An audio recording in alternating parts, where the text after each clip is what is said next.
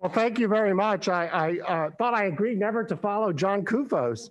Uh, it's uh, incredible, but what he's achieved. Well, I want to take you back 100 years ago into 1920. That's when W.H. Abrams arrived in Mitchell County in West Texas. He found what appeared to be nothing but barren desert, land totally devoid of water and vegetation. He would go on to produce the first 10 barrels of oil in the Permian Basin, unlocking the vast potential to power humanity hidden beneath the ground. Now, similarly, it's easy to look at our prisons and see nothing but a wasteland devoid of potential, a sea of nameless orange jumpsuits marked by just TDCJ ID numbers, broken souls who will not just be rightly held to account for what they did on the worst day of their life, but forever defined by it. However, just like the Permian Basin in 1920, we know there is so much hidden potential. As in the, as in the energy industry, tapping that potential takes a lot of hard work and teamwork, which is the creed of the project Safe Streets and Second Chances that John has led so brilliantly. Now, there is one difference, though, between tapping an oil field and the talents of people behind bars. Now, we all know there's been remarkable advances in fracking, we can get oil out that we never thought we could before. But there's still a limit. Eventually, you exhaust it. However, the reservoir of human potential inside all of us, including in those coming out of prison, is truly infinite. My good friend Craig DeRoche of Prison Fellowship said, God never made a throwaway person. But you know, some would say this is just the wrong time to be tackling the issue of giving second chances uh, when hiring in the energy industry. We all know there's a pandemic, there's a lot of restrictions. Um, there's $35 barrel in oil. It's pretty hard to uh, even make a profit taking oil from the ground. And there's social distancing guidelines that make reentry difficult. How do you do the one-on-one meetings with someone coming out of prison in this time?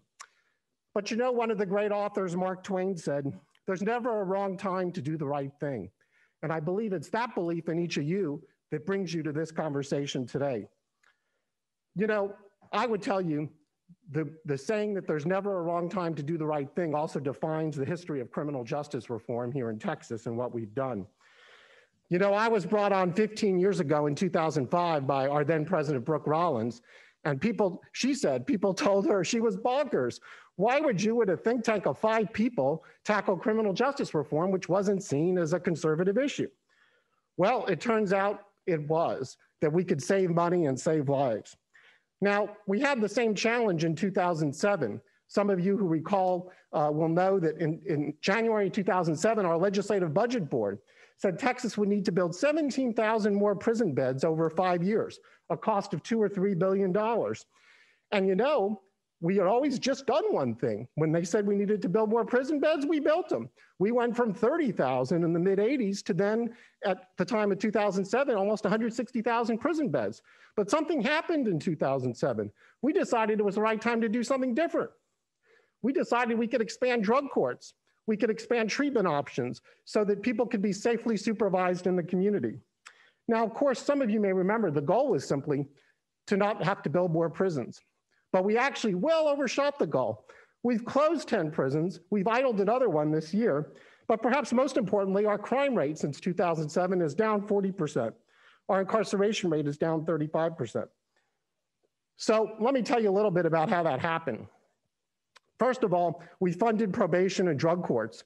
Uh, we had swift and certain sanctions for people when they violated their probation instead of automatically sending them back to prison. Now, on the parole side, we also made a huge difference. And I will tell you, we had 1,300 fewer new offenses by parolees because we did things like instant drug testing.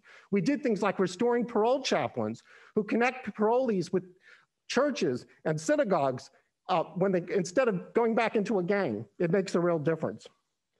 Now, we're, let me tell you, we didn't stop there. Let me tell you about some of the bills we passed in the last several years. One of them is saying employers and landlords can't be sued simply for giving someone a second chance. That just by virtue of hiring someone or renting to someone who has a criminal record, you cannot be sued for negligence. Record sealing. We've expanded the law so people with a single nonviolent misdemeanor can get that record sealed. Occupational licensing reform. My colleague Derek Cohen did a, almost a single-handed brilliant job in the last session getting legislation done that says if you have a prior offense that's not related to the occupation, after you've done your time, you can punch the clock. And then let me also tell you about our bonding program, which is a federal program, and we just highlighted how Louisiana is using it as well. But many businesses don't even know this. You can get a bond that secures someone. If you're worried about someone with a record stealing from your business, whether through the Texas Workforce Commission or the agency in your state, you can get a bond to cover that. One of the other bills we had last session, uh, we're going to have everyone leaving prison now have a resume. We're going to align the job training in prison to available jobs of the workforce. And we're going to have mock interviews, mock job interviews for folks leaving prison. By the way, a lot of these policies have been adopted by the American Legislative Exchange Council. You can go to their website and find them and take those models to your states around the country. Well, let me conclude by saying there's a unifying theme across energy, across entrepreneurship, and across reentry. And what is that? It's that we have to take on risk while seeking to mitigate it. We have to learn from our mistakes. You know, when wildcatters in Texas encountered a dry hole, they didn't give up. They made a better plan, found the next best place to drill.